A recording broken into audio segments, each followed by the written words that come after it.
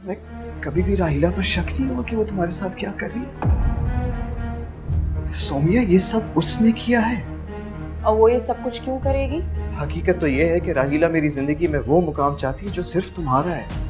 बस कर दो हातिम। यही सच है। उसी ने बहकाया था मुझे। बहुत खुशकिस्मत है वो जिसे आपने चाहा।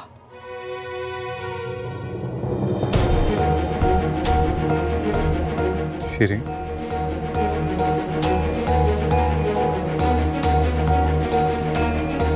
वो सिर्फ़ मेरी चाहत नहीं है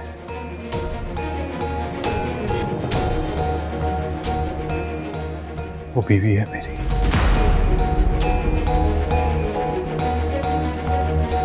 धोखा दिया उसने हमें। क्या कह रहे हो? कहाँ से सुना है तुमने ये? मैं उसके ऑफ़िस गया था आज। वहाँ उसके स्टाफ से मालूम हुआ उन लोगों ने उसकी शादी में शिरकत की है वली में शिरकत की है।